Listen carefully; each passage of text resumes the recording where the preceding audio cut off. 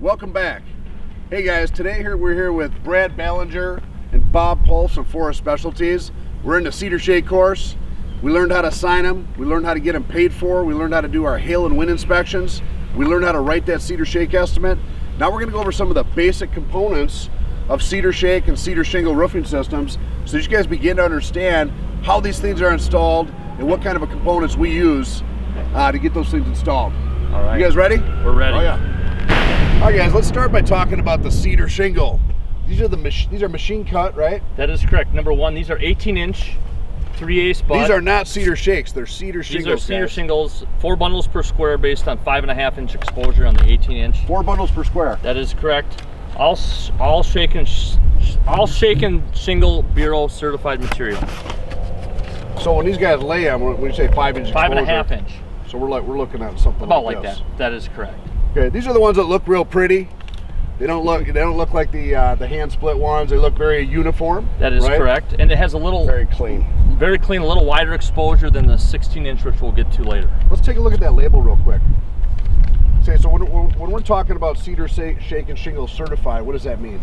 The Cedar Shake and Shingle Bureau is the basically the quality control institute that we That's that we deal, support. that's this deal right here. And what's that batch number? Does that mean it's actually been inspected or that batch that's has an inspected? yeah, that's the QE qual- or quality control uh, inspection number. So, So- every bundle that you get will have one of these labels. Okay.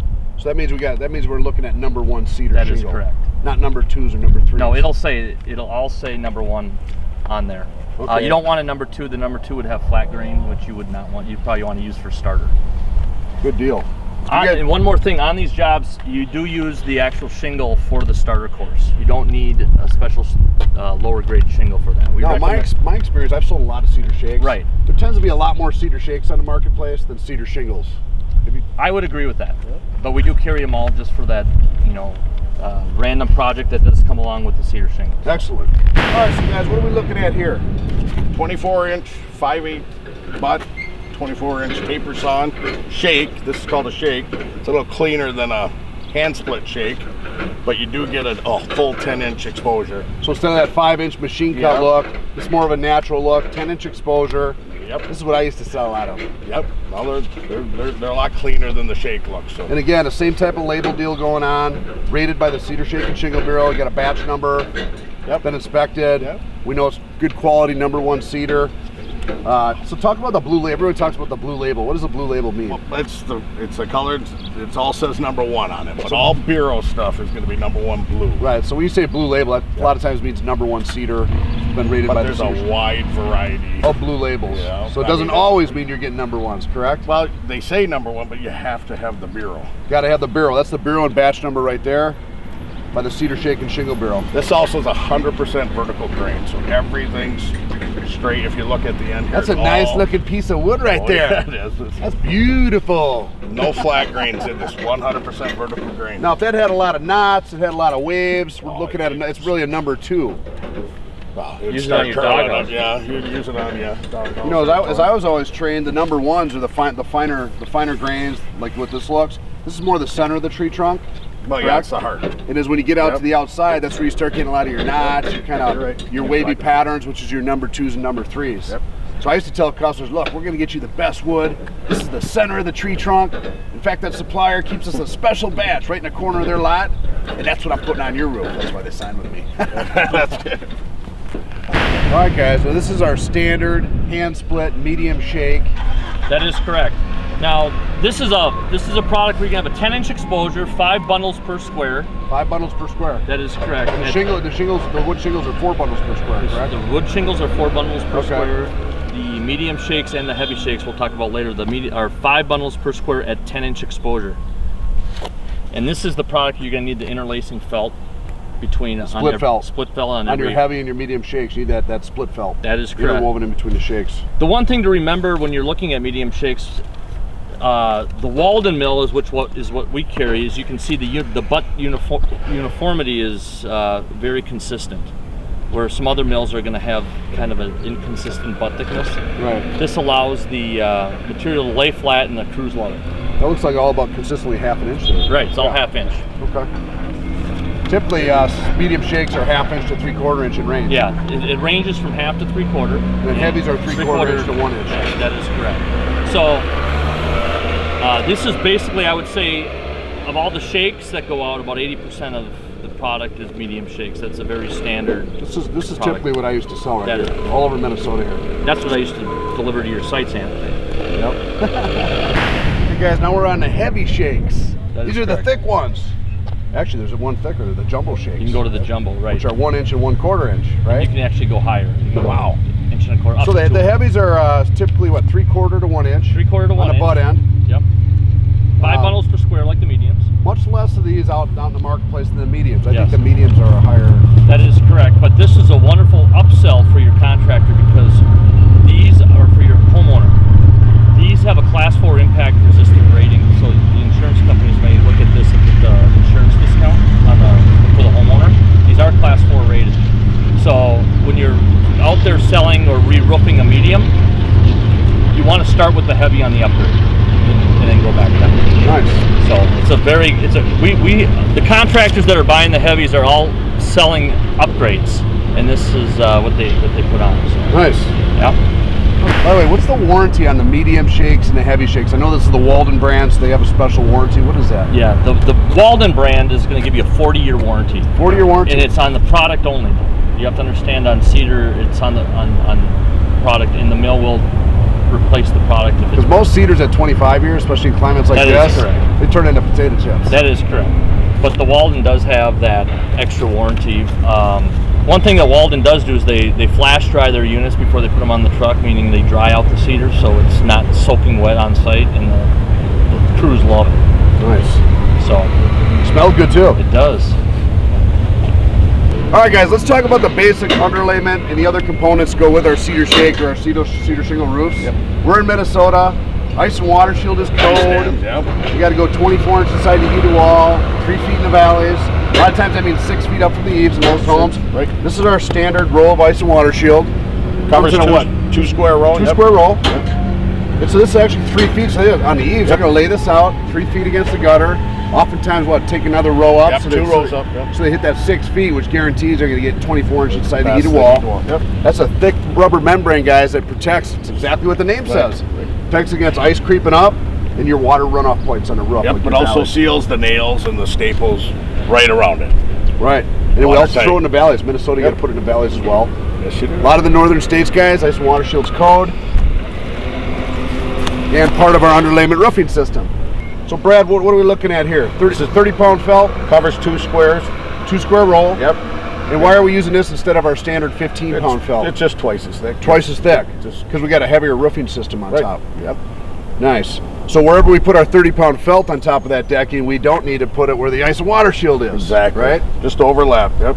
Just a little overlap. All right, Brad, this is our split felt. A lot of guys don't even know what split felt is. Right. It's a 30 pound, 18 inch width, and then it interlays between the, the shakes here. So if you want to do, Yeah. so you, you you lay this out on your roof, and then you're going to tuck your shakes underneath each roll. So we still have our base felt, Yep. guys, our 30 pound base felt. The split felt is then interwoven between the shakes, which Yep. gives you an extra double, like a double layer waterproof. Uh, It's the waterproofing. yeah, it's the factor waterproofing Yep. factor. So And it does the 10. You have to have 10 inch. you know, it's in a, in a lot of times when you write these these estimates in Xactimate, guys, guess what's not in Xactimate? Exactly. There's no split felt, so you got to add a manual line item in Xactimate or use your own estimate. And we used to get it paid for all the time, but you got to ask for it. Exactly. And it's one square per roll. So if you got a 40 square cedar shake Right. job, you need Yeah, 40 rolls of split felt. All right, so looks Bob. What are we looking at here? What is this? Cedar cedar breather? This is cedar breather. This is an, a perfect opportunity Is for it the gonna help us contractor. breathe?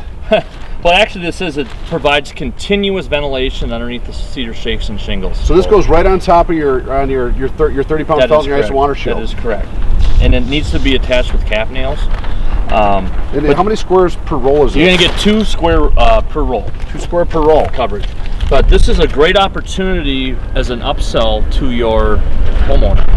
Get- It's going to give you know What value average- does it do? Is it? It's it gonna- prolongs the life. It I would say extends it's, the life? Yeah, anywhere from five to seven years. Yep. Is, is kind of what they're So because it's allowing airflow underneath the continuous cedar. ventilation underneath. This is especially important in our our region underneath cedar shingles because of the hot and cold and the humidity. So if you Cedar have this, you don't need any ridge vents or any other type of ventilation No, systems. Or you still do? Yes. No, you're You still gonna you still got to need your you still need some ventilation. This just allows for continuous ventilation for the the material to breathe evenly. So gotcha. you're not going to get the cupping and curling of the. Keep it dry. It, it kind of replaces the old board and batten where you laid out the two by two strips. Nice. You don't need to do that. So you guys, cedar breather, great upgrade opportunity. By the way, what, what is a general? What is the cost per roll for this? You know, the cost of the contractor per square, you're looking at about a sixty-five to seventy dollars a square. So you get hundred dollars to the hundred dollars to the homeowner, we're gonna make a little profit per square. Per yeah. square. That is correct. Okay, so hundred dollars so thirty square rough.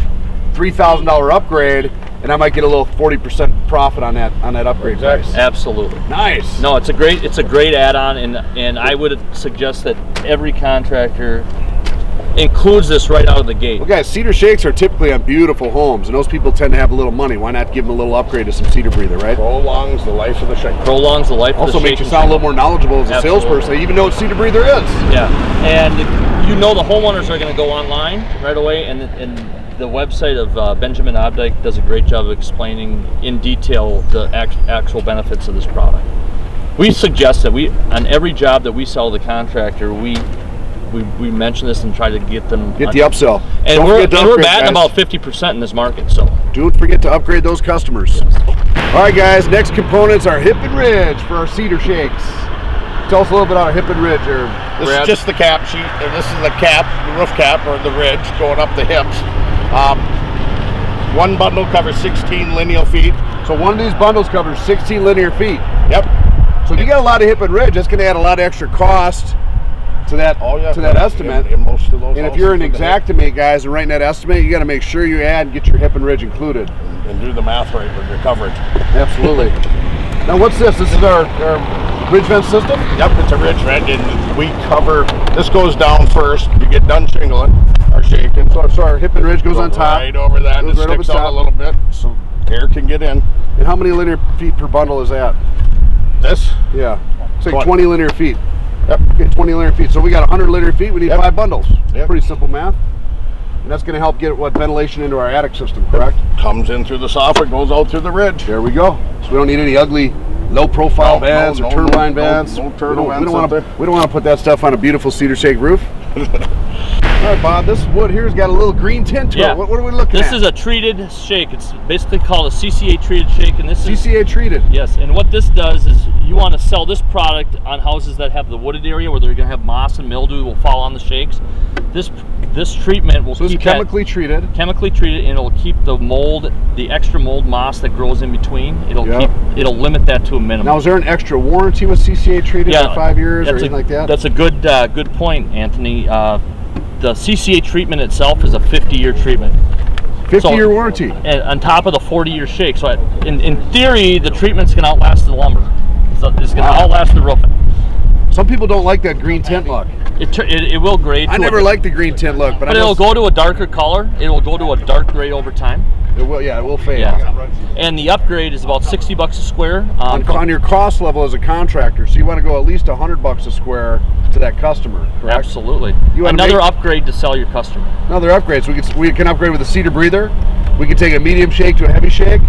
We can add a CCA treatment. That we can correct. make we can make another 100, maybe even 150, 200 dollars a square profit as a contractor on top of what Absolutely. we normally have already. Absolutely. Excellent. Um, but if you're going into a, a neighborhood that has a lot of trees and a lot of, you, you'll see older cedar roofs, they'll have the moss. This is the product you want to upgrade them to, to eliminate that to a minimum. It's not going to avoid it, but it will minimize. Now, will the treatment actually decrease the the how fast the roof ages or deteriorates? Uh, no. Okay. No, no. So it's going to age just like any other That is cedar. That is correct. Okay. You're going to just get a darker gray versus a lighter gray with the regular cedar nice. over time. It's a great upgrade. So Brad, we got our fasteners here for cedar shakes. Let's let's cut, let's go over the different types of fasteners here. Okay, well, we got a hand nail, 8D 316 stainless. Does anybody hand nail anymore? Well, a lot of people do. Customers, some customers. I used to sell hand nail, hand nail only Right, until the yep. crew stopped doing it. Like, hey Yeah, man, we got too many jobs. We can't handle anymore. Well, that's why we got these now. You know, everybody wants to use a gun now. Same thing. So this is through the gun, 8D. 8D sta 316 stainless, which is the highest quality stainless you can get. which the, which the crews would rather use because none of them want to hand nail They anymore. put that right in their siding gun to nail on your shakes. And then Ring do- shank. What do we got here? You got stainless steel staples, which uh, a lot of the crews use. Comes in a half inch or 7 16 inch crown, two inch length, so you get through the shake into the roof deck. Now I used to sell against staples on cedar. So I used to tell guys, hey, look, staples pull up over time, they rust out. We're gonna we're gonna use the 8D ring shake. You know, I used to so this would be a selling point. But tell me, do these rust out and pull up like the They, other old they won't rust out, but they, they they're smooth shank, so Okay. they don't have a ring shank on them. But at the end of the day, is the is the nail still a better quality, Yes, faster than nail's a a staple? quality, okay. yes, absolutely. Is there any reason why some crews would want to use staples versus coil nail? It's the same speed, correct? It's about the same speed, but Okay. you get a little more coverage out of the staple. Get a little more coverage out of the staple. Yep. Okay, guys, it's our basic fasters. All three are in stock at Forest Specialties. Not many places carry all three in stock. Yeah, when we used to order in Chicago, we had to order we had to order our fasters from one place Yeah. or cedar from another. It was a, it was a nightmare. Right. See you soon, guys.